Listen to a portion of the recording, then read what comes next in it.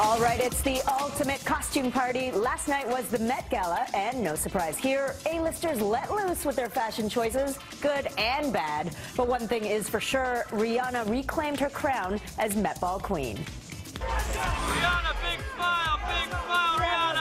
Rihanna! Wins again. The star outdid everyone on the Met Gala's blue carpet in a Comme des Garçons creation that was on theme for the evening. The night was dedicated to the Japanese label. The layered creation was an architectural marvel, as was Riri's ability to move so gracefully in the voluminous look. A close second for the title of showstopper, Katy Perry, the lady in avant-garde red. Katy, Perry, who is one of the event's co-chairs this year, wore a daring gown by Maison Martin Margiela, but let's talk about that veil and headpiece.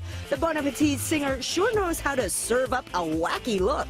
Speaking of wacky, how about this? Perry's fellow co-chair Pharrell Williams' wife, Helen, in a tomato red armless onesie, which was also designed by the night's honoree label. Online, it's being compared to the red chair from Blue's Clues. Meanwhile, the award for most nude goes to Kendall Jenner, whose slinky La Perla haute couture dress left little to the imagination. Jenner's fellow model Bella Hadid also pulled off a revealing look with a Catwoman-esque jumpsuit by Alexander Wang. Now, last year, Hadid hit the red carpet with The Weeknd. This year, he was back too, but with his new love, Selena Gomez.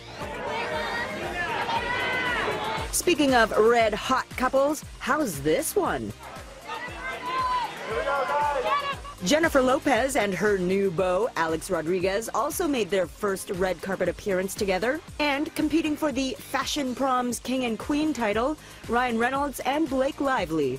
The actress paired her embellished feathered gown with over $3.5 million in jewelry. You might be wondering, what about Kim Kardashian West, another Met Gala staple? Well, she was there in a simple, understated gown by Vivienne Westwood. It's the new Kim K, y'all. And trust dynamic duo Katie Holmes and Zac Posen to pull off another stellar Met Gala look. The actress stunned in an off-the-shoulder gown designed by her good friend. Some other honorable mentions, Celine Dion in custom Versace, Madonna in camo Moschino, looking ready for battle, Twinning fashion queens Mary-Kate and Ashley Olsen looking boho chic as always. And last but not least, Jaden Smith in Louis Vuitton, which he accessorized with his recently cut off dreads. Let us know what you thought of last night's looks. Tweet us at NCity. From red carpet glamour to red band humor with Gilbert Gottfried.